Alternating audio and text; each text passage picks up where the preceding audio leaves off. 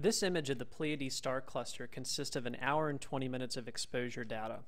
Also known as the Seven Sisters, its stars are surrounded by blue nebulae, which are difficult to see in a telescope but are easily visible through long exposure photography. As the blue stars move through these dust clouds, their light reflects off of them, creating the nebulosity in this image. I'm really pleased with the faint details of the clouds and the complex structure that came out.